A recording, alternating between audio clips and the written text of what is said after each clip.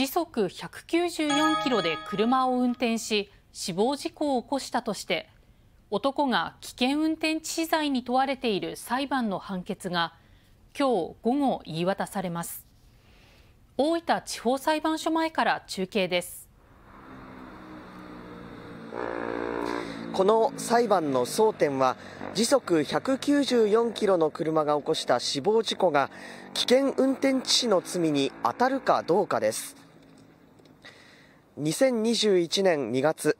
大分市の県道で当時19歳の男が時速194キロで運転する車と交差点を右折していた車が衝突し小柳健さんが死亡しました。被告側は過失運転致死にとどまり危険運転致死罪には当たらないと一貫して主張しています。一方で検察側は懲役12年を求刑しました。判決を前に昨日死亡した男性の姉がどちらになっても家の中は変わらず弟は帰ってこない。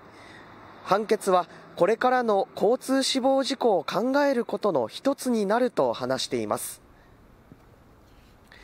判決は午後3時に言い渡されます。